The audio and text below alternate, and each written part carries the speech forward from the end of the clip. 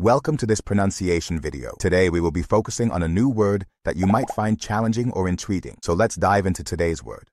Enfoques, which means, Approaches or perspectives used to analyze or understand something. let's say it all together. Enfoques. Enfoques.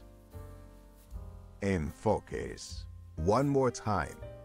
Enfoques. Enfoques. Enfoques. Thank you for joining us on this adventure in pronunciation. Remember, language is a journey, not a destination. Keep exploring, experimenting, and expanding your linguistic horizons. We'll see you next time.